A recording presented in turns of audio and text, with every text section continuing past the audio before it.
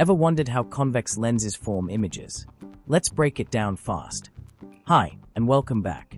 In this video, we'll look at image formation in a convex or converging lens. Case 1. Object beyond 2f.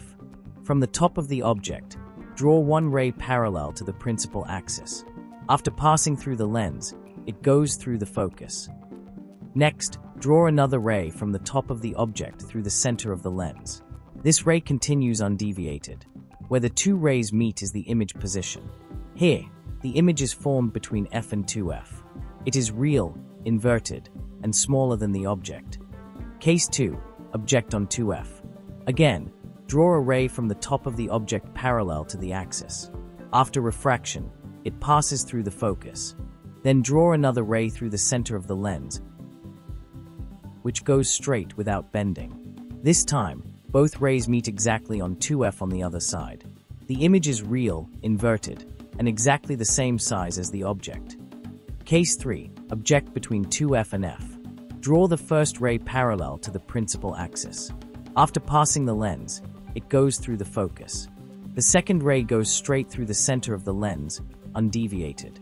These two rays meet beyond 2f. The image is real, inverted, and larger than the object. Case 4. Object on f. Start with a ray parallel to the axis. After passing through the lens, it bends and goes through the focus.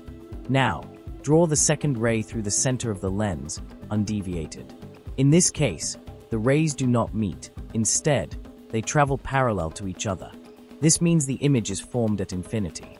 Case 5. Object between f and the lens. Draw one ray parallel to the principal axis. After the lens, it bends outward as if it came from the focus.